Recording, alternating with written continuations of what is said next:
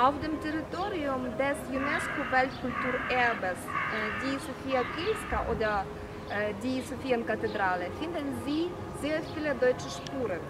Hinter mir ist der Glockenturm, aufgestockt und renoviert Mitte des, 19, des 18. Jahrhunderts vom deutschen Architekten Johann Gottfried Schäden.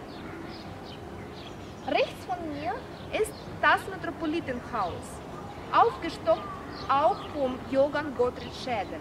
Und gegenüber dem Metropolitenhaus sieht man das Saburowski-Tor.